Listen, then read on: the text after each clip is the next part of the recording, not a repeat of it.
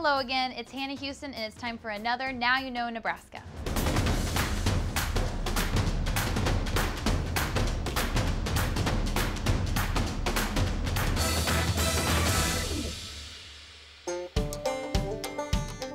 I enjoyed becoming a finalist on The Voice. Not so sure I would have made it that far at the hay baling championship of the world. In the 1920s, the town of Stuart, Nebraska hosted the event which determined the fastest hay balers in the world. The first competition was won by a group that baled two tons of hay in just 21 minutes.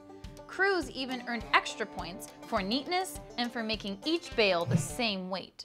By the next year, the event was earning nationwide attention, and Nebraska's governor was in attendance to award the first place prize. The downfall of the contest began when one group argued that cow milking should be added as a contest, but the hay balers wanted it to stay out.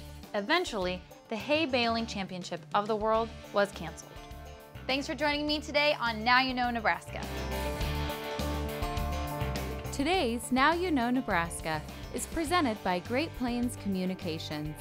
Great Plains Communications, the largest Nebraska owned telecommunications provider,